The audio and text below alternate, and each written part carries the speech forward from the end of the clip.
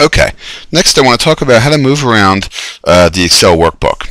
So if you notice, your spreadsheet is split up into columns and rows. The columns go A, B, C, D, and then when it gets to Z, it starts the alphabet all over again. It goes A, A, and then A, B, and then A, C. So uh, there used to be 256 columns across. Uh, in the new version, they've really increased that. What I'm going to do is uh, I'm going to do Control right. I'm going to hold down the control uh, key and hit the right mouse, uh, the uh, the right keyboard button. Now, it, it, took me out to column XFD. By the way, control right will go all the way to the right, or control left will go all, all the way to the left. Uh, these are just keyboard shortcuts. Of course, control down or control up would work as well. So it took us out to column XFD. So what it did is when it got to ZZ, it started the alphabet all over again. It goes AAA, and then AAB, AAC. So uh, when we go out to XFD, it, it's something over 16,000 columns. So the spreadsheet used to have 256 columns, but now it goes up to uh, over 16,000. Now in this case, I want to hit Control Home. When you do Control Home anywhere in the uh, on the spreadsheet, it takes you back to uh, cell A1, uh, which is column A, row 1. Now, if you look at the rows, to go, the rows go one, two, three, four, five. Uh, in this case, I'm going to do Control down. Hold down Control and hit the down arrow on the keyboard. Now, uh, now it goes over to 1,048,576 rows. So your spreadsheet is now over 16,000 columns and over 1,048,000 rows. I mean, that's just amazing. Uh, that should obviously meet most of your needs.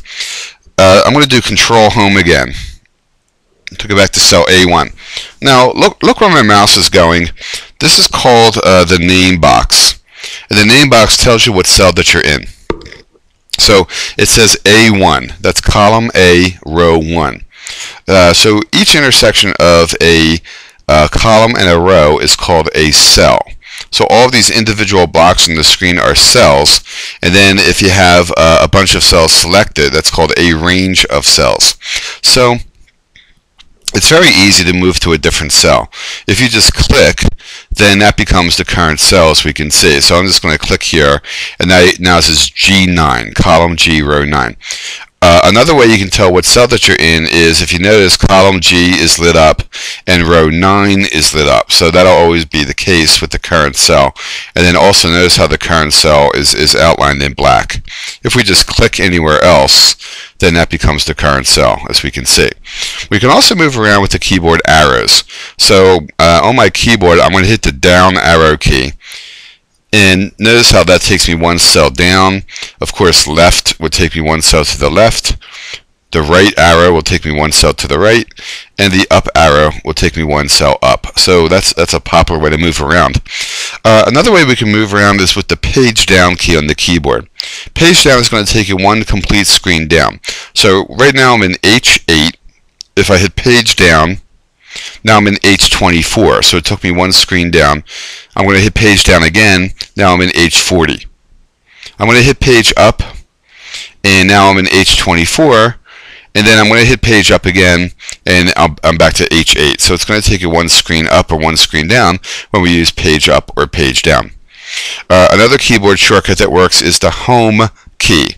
Right now I'm in H8, but if I hit home, now I'm in A8. A8 always takes you back to column A of whatever uh, row that you're in, as we can see. Watch, I'm going to go to, um, to I11, but now I'm going to hit the home key, and now I'm in A11.